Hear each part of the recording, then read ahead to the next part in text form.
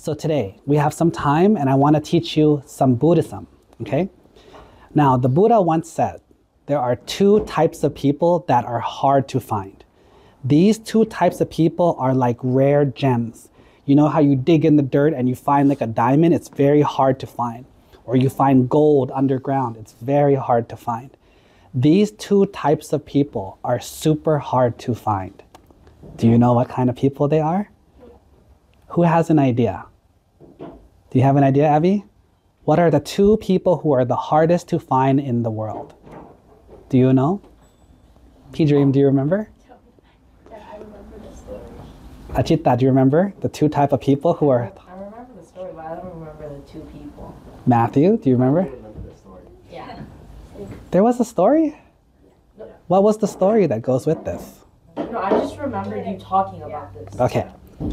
So, in Pali, it's called Bupakari. Can you say that? This is the Bali, right? Bupakari. And the other part is called the people who have, it's a skill called Katanyu Katavetita. It's a long one. Can you say it? Katanyu Katavetita. So now let me explain what it means. The people who are Bupakari are the people who are very rare. These people are hard to find. There's not a lot of them in the world. Is the people that gives a favor first, freely, with no expectations. So that means people who help other people for free, just out of kindness, are very hard to find. So when you find someone like that, someone who just helps you, they see you in need and they just help you. Those people are very rare because most of the people in this world are selfish. Most of the people in this world don't care about other people. But when you find those special people who do care, they are special.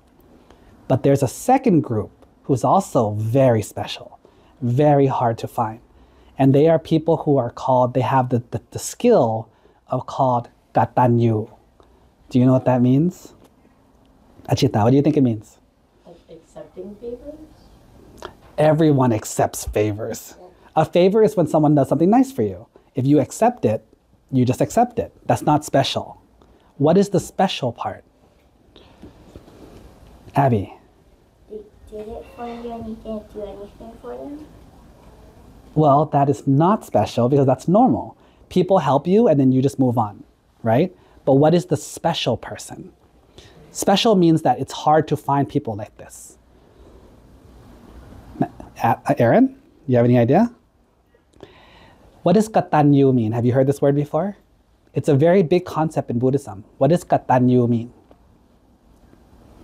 Usually it's said when you say like, do you have katanyu to your parents? You have katanyu to your teachers? Do you know what that means? Not just respect. Sometimes you will do things to show your katanyu. Do you know what it is? It's kind of like honor. Have you ever seen like Japanese cus- uh, culture before? Like in movies or anime, have you seen it? What do they do? What do the what do the students do for the teachers? Other than just bowing, not just bowing, what do they do? They clean, they cook for their teachers, they, they buy gifts for their parents, they wash their clothes for their parents, they drive their parents, they do the farming for their parents, right? They do everything they can for their parents. Do you know why they do that other than just respect? It's called they understand that their parents are bupakari, which means their parents have given them favors and now it's our turn to return the favor. So the two people that are very hard to find in this world are one, people who give favors, people who help other people first. You know, you don't have to wait for you to help me first. No, I'm just going to help you. Whatever you need, I'm just going to help you. This is something that my mom used to teach me all the time. Is when someone needs help, help them. If you can and it doesn't hurt you too much, help them. And one thing my mom always taught me, which I learned and it actually turns out really well sometimes, is that when someone asks for $10, if you can, give them 20. You know, my mom almost never gave people what they asked, which is very interesting to me. I never understood this because if someone asks you for help, can you can I have not just homeless, I mean like like regular people too. They ask, "Hey, I need help. I need to pay something that costs $1,000. My mom will send them a check, but she'll send them a check for 5,000 or 3,000. And I always wonder, why, mom? They only asked for 1,000. My mom says, Do you know how hard it is for someone to ask for help? When someone's struggling so hard and they ask you for help, that means that's the minimum that they need. So if you can and you have it, help them. And I asked her before, Mom, but these people, they're not going to help you back. Like, you're not going to get anything from this. And mom would say, I already got it. When I help them, I feel good about myself. I feel like I'm a good person. So even if they never pay the money back, and usually they don't, I'm happy that I got to help a fellow human in need. There's been times where there's been people who we don't even know them, but they call my mom because she's like skilled in many things, and they say, Hey, this guy is dying. He's alone at the hospital. He's scared. Can you come visit him? And my mom doesn't even know the guy. She went to the hospital to go stay with someone who was dying because they were alone. These are the kind of things that are called giving out favors for free.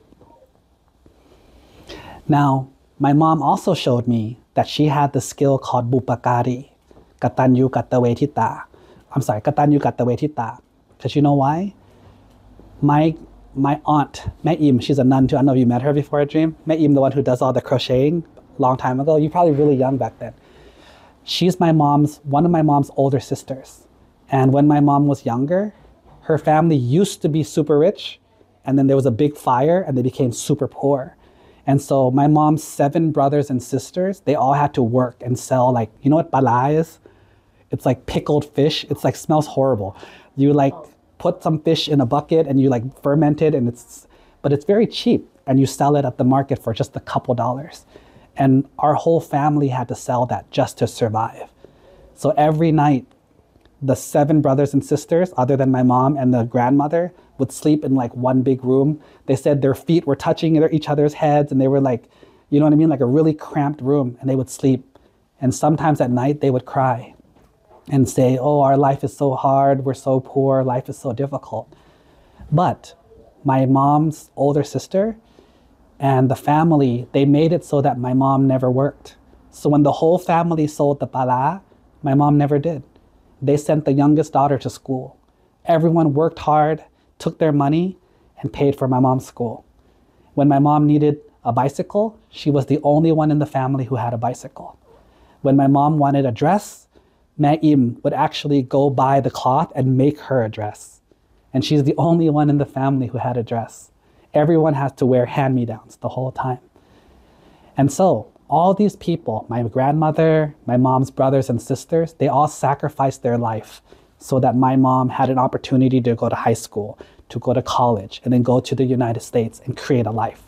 And when my mom came here, she worked really hard because she never forgot the sacrifice of her family.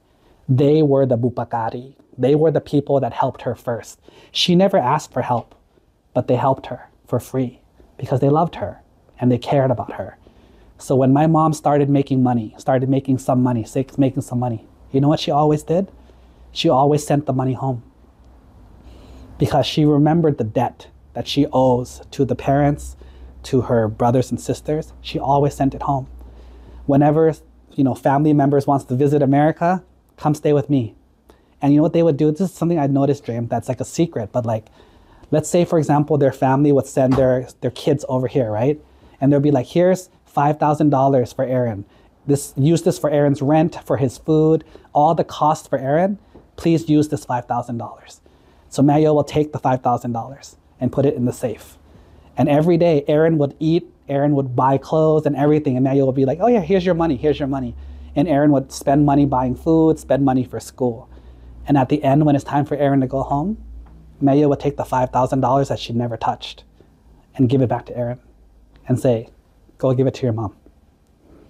The money that she spent was her own money. Because for her, she was paying back Aaron's parents. And this is the kind of people that is hard to find in the world. People in the world nowadays are so selfish. They just want, want, want, and they never think about returning. They never think about giving back. And that's why the Buddha said, these two types of people are super rare. So here's the trick. Achita, pay attention, okay? This is the super trick. If you find someone who gives out favors, be very nice to them. Be very kind to them because they're magical people. They're special. They're hard to find. If you find some people that return favors, try to be their friends because these people are hard to find. But on the other side, you know what else we should do? We should learn to be those people because those people are so special. We should learn to be that too.